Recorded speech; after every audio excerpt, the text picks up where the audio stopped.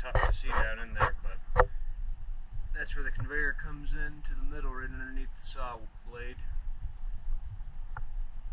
Down in there, and then we've added that metal, that galvanized metal to help funnel it all.